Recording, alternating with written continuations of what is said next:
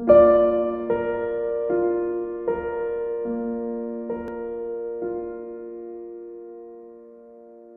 name is Laurie Maley, and I am the daughter of Cami Otto.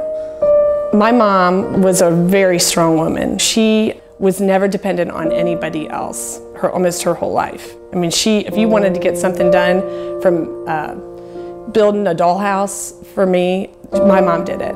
Um, my dad did the stickers, but my mom, she was the builder and she took care of the nuts and bolts of things. You know, they were a great team in that way. Mom had been in the hospital two times in the two years preceding when we contacted hospice. And um, she had a list of 10 different um, diagnoses. COPD, so that was probably her biggest um, stumbling block because she couldn't breathe.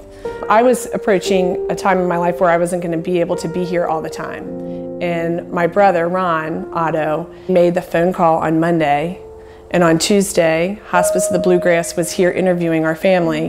And then on Wednesday, it was, they were here and they were a part of our lives. I was at a Rotary Club luncheon and it, by happen chance, the, uh, the guest speaker was from Hospice of the Bluegrass. And uh, it was a very eye-opening moment for me. I actually had a lot of preconceived ideas about hospice, and they were all kind of, you know, put to rest. It was just such a well-oiled machine. You know, they came in and sat us down. They talked the facts. They enjoyed my mom and dad. Um, I could tell right away that the nurse made a connection with my mom.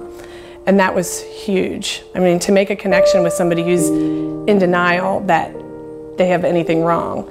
And then all of a sudden to have her say, okay, bring the equipment in. You know, so we all, the, all of a sudden we had um, nebulizers, we had medicine that was gonna help her, we had people here kind of taking care of her and making her feel safe, and making her feel comfortable. That was huge, and it happened almost overnight. It was making sure that, that you know, that they could have their lives, that all of us could enjoy my mom as our mother, opposed to, you know, being our patient.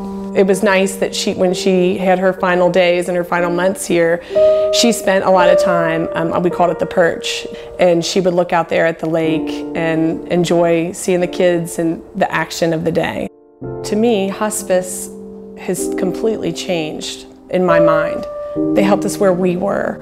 If we needed oxygen, kind of made you nervous. Are we ready for that? But hospice made us so comfortable with making those decisions because they've almost, I mean, sometimes they did hold my hand, but you know, it was, they were always there. They were always there. You could call them any time of day.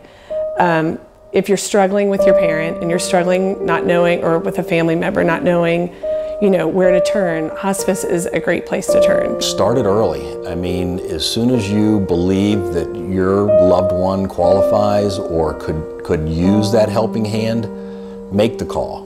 You know, reach out, find out. I mean, the worst thing can, you can be told is no and call us back in a little bit. It was just amazing what it did for our family. It just alleviated so much tension and pressure and nervousness about what to do next. They helped us a lot.